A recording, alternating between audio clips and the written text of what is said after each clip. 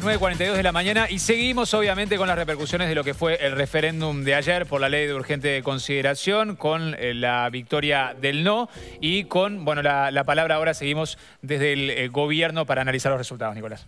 Sí, estamos con el ministro de Defensa, Javier García, para seguir comentando los resultados. ¿Qué tal? ¿Cómo le va? Buen día, buen día a todos. Buen día, bienvenido, bienvenido. Bueno, eh, hemos estado comentando a lo largo de toda la mañana eh, las evaluaciones. ¿Cuál es la suya a propósito del resultado de ayer? Cuando fui a, votar ayer de mañana acá cerquita, me preguntaron cuál iba a ser la actitud. Yo dije, miren, en cualquier circunstancia, humildad y respeto. Humildad y respeto cuando este, una opción que uno defiende no es, no es la, que, la que sale, pero mucho más humildad y respeto si la opción que sale es la que uno defiende. Así que esa es la actitud, humildad y respeto. Ayer hubo un pronunciamiento sobre una ley. También firmeza republicana, porque ayer hubo un pronunciamiento sobre una ley eh, que ratifica el rumbo de un gobierno. Y hay un gobierno, no hay cogobierno. Hay un gobierno que fue electo y tuvo la mayoría popular en octubre de- del 19, que tuvo la mayoría popular en noviembre del 19 y convocado a las urnas por una ley, tuvo la mayoría popular en marzo del 2022. ¿Para ustedes la solicitud de diálogo que reclama la oposición es una solicitud de cogobierno? ¿Lo leen de esa manera? Yo creo que es una, una solicitud, ¿cómo le voy a decir?, que no está ajustada a la realidad porque diálogo ha habido. A ver, es muy particular. Fíjese que nosotros venimos de un periodo muy complejo por la pandemia. Quienes piden diálogo como si no hubiera habido diálogo son los mismos que organizaron un cacerolazo a los 10 días de declararse la emergencia sanitaria en el Uruguay. Es una forma muy particular de pedir diálogo. Diálogo, pero de la pandemia te organiza un cacerolazo en contra de, un gobierno que hacía 20 días había empezado. Es una forma llamativa de pedir diálogo a los cacerolazos, ¿no? Por lo menos para mí. Y, y aparte, el propio Fernando Pereira, que estuve charlando recién ahí un ratito, y el Frente Amplio, eh, tienen gastado los engranajes, las bisagras de la, casa, de la puerta de la Casa de Gobierno de charlar, porque se ha abierto tantas veces la puerta de la Casa de Gobierno para, para hablar que se gastaron las bisagras. Y van a seguir gastándose. Si hay que cambiar la bisagra, se cambia la bisagra. Pero esa puerta, el presidente la abrió cuántas veces se la abrió al propio Fernando Pereira, a, los restantes senadores, presidente Frente Amplio antes. Diálogo es lo que ustedes como periodistas que siguen la realidad día a día han visto que, que ofrece el gobierno. Pero para ustedes, el- la votación de ayer también para el gobierno no es una señal porque no logró, el- el- la, la opción del no, no logró el 50% tampoco, ¿no? De, de- de la votación. Entonces igual se, se- se nota que quedó bastante dividido el, el- el panorama. A ver. Y eso también para el Ayer había gobierno una como convocatoria. una- como una las, señal. las lecturas vio que... Sí, sí. Yo como la biblioteca. No, cada- por cada ejemplo, uno lo hablamos con Botinelli más temprano y cada- decía eso. Y tiene toda la... Me parece, la- que, me parece que es atendible. tiene claro. toda la legitimidad para opinar y es tan, tan interesante la opinión de Botinelli como puede ser la de ustedes. Pero ustedes como, parte del gobierno... ¿cómo Ayer lo- fue convocada la ciudadanía para este, derogar o mantener una ley. Y el pueblo uruguayo dijo se mantiene la ley. Ese es el resultado. Punto. No, no hay otro. Después ustedes convoquen a un ateneo de especialistas, y que, pero el resultado es ese. Punto. Este, no, no hay otro. Y, vuelvo al tema del diálogo. De ese diálogo que siempre ha habido. Por eso digo, este, eh, humildad, respeto, pero firmeza republicana porque dialogar siempre, pero hay un gobierno que fue electo con mayorías y ratificado ayer, que no específicamente, pero todos sabemos que al final había una especie de plebiscito sobre gobierno, así fue presentado por el propio Frente Amplio. Pero aparte un diálogo que no fue el que el Frente Amplio ofreció cuando fue gobierno. Ustedes son testigos. El líder de la oposición en el, gobierno, en el periodo pasado fue el senador Lacalle Pou. Nunca fue recibido por el presidente de la República en la presidencia de la República. Así que es, ustedes saben que es, este, y se intentó por varios lados, ¿no? La respuesta. Y, eso, no, y ahí, el, en aquel momento el senador Lacalle Pou, ahora el presidente Lacalle Pou, abrió las puertas y, eh, afirmo, o reitero, y las seguirá abriendo para todo el diálogo necesario. Eso, ¿cómo una persona se va a negar? Por lo menos nosotros no. Eh, Aparte, negarse al diálogo es una, se- para mí, es señal de debilidad. Uno de los ejemplos que ponía... Pero eso sí, hay gobierno. Y no hay cogobierno. No, no vamos a vivir un estado de asamblea. Porque acá hay una mayoría, los gobiernos se eligen cada cinco años. Y hay una mayoría que hay que respetar Porque si no sería antidemocrático. ¿Y, y en la coalición hay un, gobierno de coalición o hay un presidente eh, y hay una coalición que funciona en el Parlamento solamente? Eh, dejo los análisis y ya vamos a los resultados, porque en definitiva, vamos al objetivo. Llevamos dos años. Dos años una situación bastante particular, porque fue pandemia. Este, en, eso el gobierno se instala, el gobierno de coalición liderado por el presidente de la República. Es notorio que hay un liderazgo de- del presidente que es lo que corresponde, que conduce. Pero hay una coalición de gobierno, con todos sus colores y con todos sus matices, que enriquece al gobierno. Y eh, la coalición enfrenta la pandemia, a pesar de las cacerolas, enfrenta la pandemia. Y creo que la gestión del gobierno, visto por el mundo entero, dice, la verdad que Uruguay hay que ponerle el lente, porque miren que manejó bien la... Ustedes saben, leen los, los- las noticias internacionales. Este, se decía, nos vamos a quedar sin vacuna. Somos los últimos de la clase en la vacuna.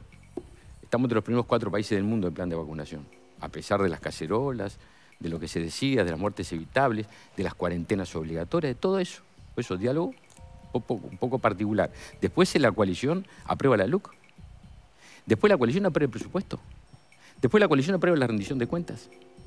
Este, es decir, y después la coalición va a un referéndum después de dos años con pandemia, con este, todas las dificultades que significa que estamos enfrentando ahora, que ustedes saben, no son problemas de origen nacional, porque la guerra y la invasión a Ucrania de Rusia impactó en el precio del petróleo, fíjese, de 40, 40 y pocos dólares el barril, nos vamos a, la- a tres veces más el barril.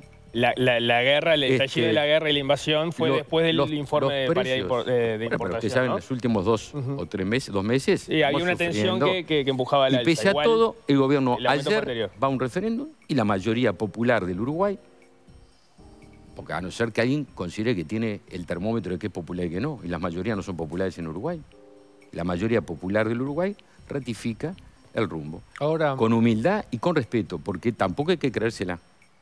eh, no, no, hay, no hay que, cierro Leonardo, discúlpame, tampoco hay que, por eso lo más lejos de cualquier centímetro, milímetro de soberbia.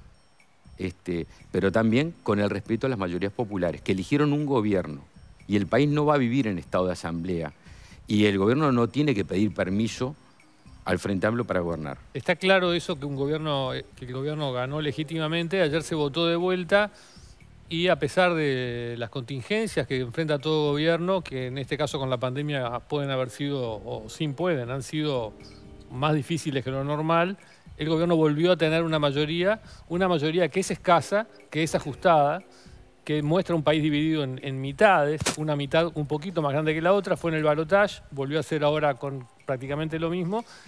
Ayer lo decía el presidente, quedan reformas importantes para hacer, grandes, queda el tema de la educación, queda el tema de los asentamientos, queda el tema de la seguridad social, son grandes desafíos. Está claro que no hay un cogobierno, pero se puede avanzar en estos temas sin lograr consensos más amplios y cómo debería ser de ahora en más, eh, qué va a hacer el gobierno de ahora en más en estos temas que son importantes. ¿Cuál va a ser la iniciativa del gobierno? Yo tengo un matiz, A ver. siempre me gusta decir matices que diferencia, ¿no? este, Dígale que no. No, no, no, mismo, porque, porque, porque, porque es- es- son visiones y Está es muy bien. rico. Estos son temas que son todos opinales. No hay acá una fórmula que dice da tanto. Yo no creo que el país esté dividido en mitades. Hay un país que tiene una expresión mayoritaria que puede cambiar en el futuro. Vamos, ¿cuántas veces ha cambiado? Pero el país es uno, Puede, pero Con pasaron sus dos colores. años y quedó igual. con sus colores, porque colores, cuando digo color digo pluralidad de sensibilidades diferentes, hay adentro del Frente Amplio y adentro de la coalición de gobierno. Hay, hay toques, hay distancias. Entonces, país hay uno que tiene expresiones ante circunstancias mayoritarias y otras que no son tantas, y después pueden cambiar. O sea, usted no, Pero- no coincide con no- Sanguinetti, que dijo que el país está dividido hace Yo años. tengo esa visión, que hay un Uruguay que tiene expresiones, y hay una expresión mayoritaria, que es la que fija la democracia.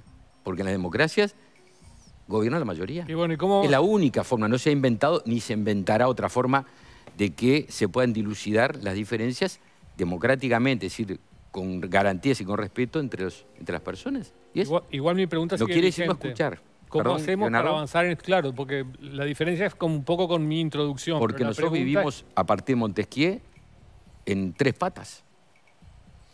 Hay un poder ejecutivo, hay un poder legislativo y un poder judicial. Saquemos el poder judicial, que tiene notoriamente otra función, Pero hay dos poderes políticos. Y hay uno, que es el Parlamento, aquí a, a cuatro cuadras de donde estamos, que donde se convoca a la voluntad popular y es allí que se dirimen este, las, las diferencias.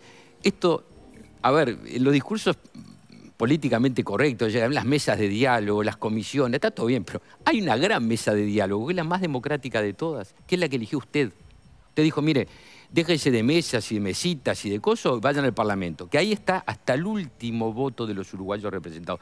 Porque si hacemos estructuras afuera del Parlamento, me parece que estamos negando la voluntad popular. ¿Habrá una gran reforma educativa, una ley de reforma educativa? Eso, tenemos debates por delante, ya lo decía el presidente, seguridad social, este, educación.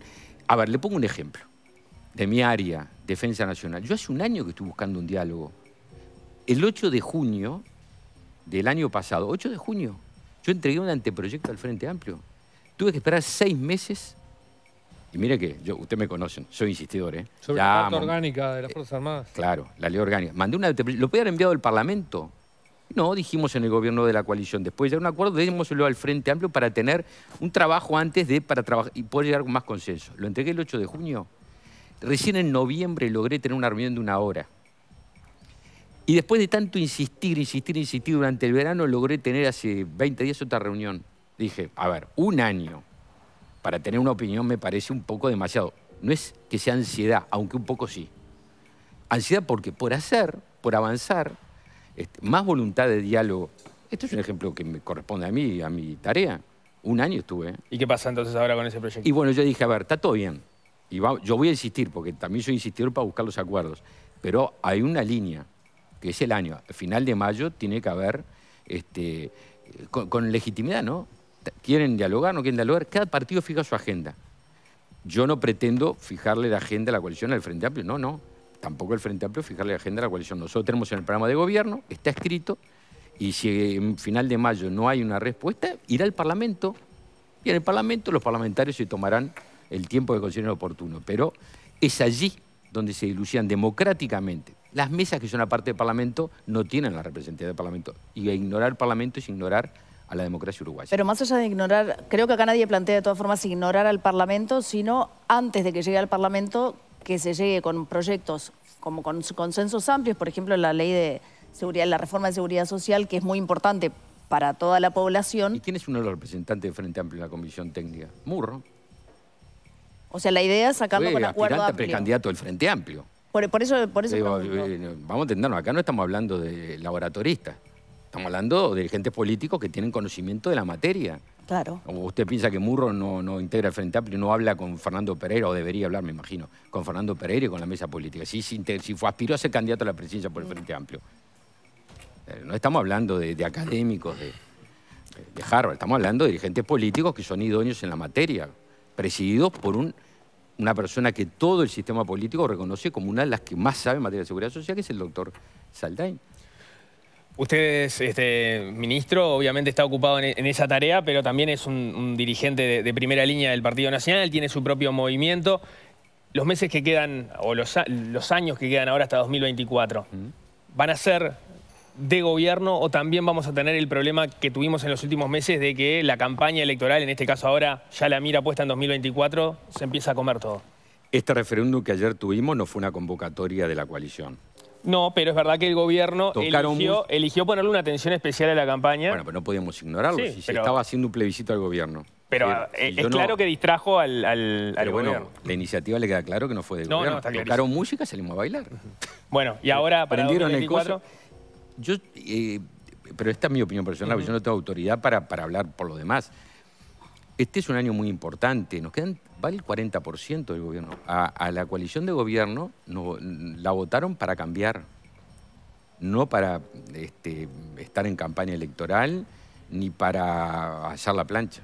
Yo creo que hay que dedicarse mucho a la gestión, porque eso es un, así como hay que respetar, decíamos recién, los pronunciamientos populares, este pronunciamiento popular también hay que respetarlo sin duda ninguna, porque si, no vale, no vale que, si no valdría para los demás, pero no vale para uno, no, no yo soy de las personas que creo que dedicarse mucho a la gestión, porque, a ver, si la gestión, como, yo, como está haciendo, es mi opinión y la mayoría de los ha expresado en el sentido, eh, de la gestión del gobierno, con todas las dificultades que hubo, pandemia, todo lo que sabemos, ha sido ratificada y es buena, y la aprobación del presidente de la República es muy buena.